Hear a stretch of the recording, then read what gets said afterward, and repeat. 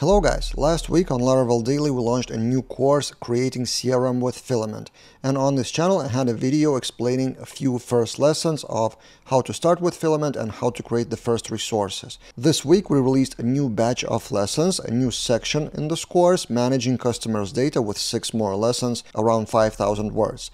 And in this video I will highlight a few features that we implemented in those lessons. In this video you will learn how to create a custom action in the table in Filament how to create tabs on top of table with dynamic titles, and how to handle soft deletes in Filament. And if you want the full course with repository on all the lessons, the link will be in the description below.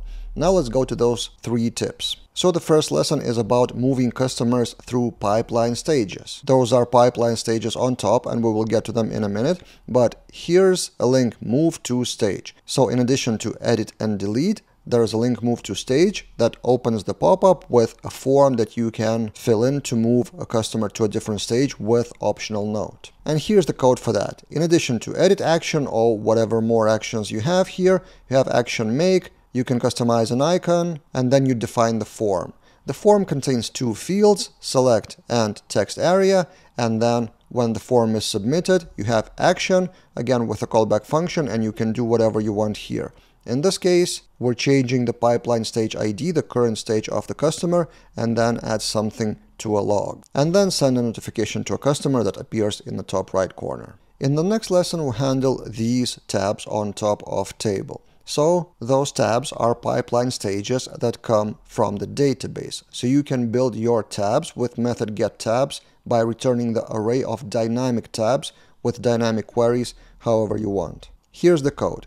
In the list page of your resource, of your filament resource, you have tabs array and your goal is to return the tabs array and then meanwhile fill it in with whatever you want. Those tabs may be hard-coded or dynamically built from the database. So we hard-code this one so all customers with title and badge which means the number of customers in total and then for each of all the pipeline stages we build tabs with the key of what that tab should be called with the badge of amount of customers and what query should be representing that data in the table. So filter by pipeline stage ID.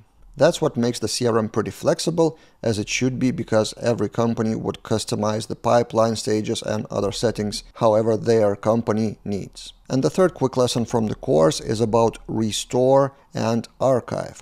So soft deletes is a known feature in Laravel, in Eloquent, and Filament makes it very easy to implement that in the table actions. So in the tabs that we have just discussed, we add another tab called archived. In the same code that you have just seen, we add another tabs archived with badge and query modifying only trashed. Then we have another new tab with the customers that have been soft deleted. And soft deletes are handled on the Eloquent level, so if you have a delete button in Filament, but you have soft deletes on Eloquent level, the record would not actually be deleted, it would be just filled in with deleted at field in the database.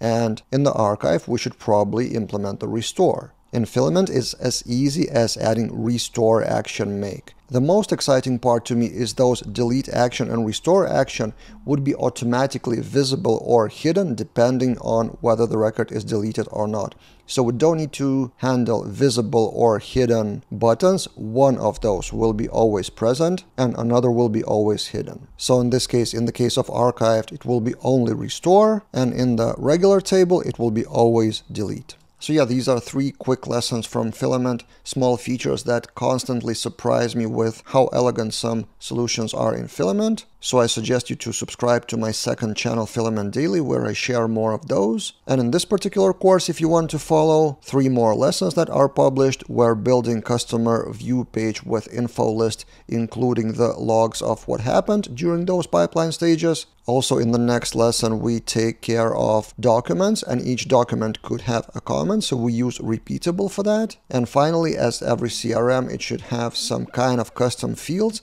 similar to WordPress. So in addition to regular customer fields, you would be able to define your own like birth date, job title, or whatever. So if you want to see how we implemented those, the link to the full course will be in the description below. Next week, we're planning to add the third section And maybe this will be the end of the course for now. We'll see. If you have any suggestions for features, let me know in the comments or reply to the lessons themselves. You added quite a lot of suggestions already, but some of those suggestions are so big or outside of filament scope that we narrowed it down to showcasing the filament features. This is kind of a lesson for me of how to ask feedback and how to filter that in a way that the final result would be applicable to as broad audience as possible.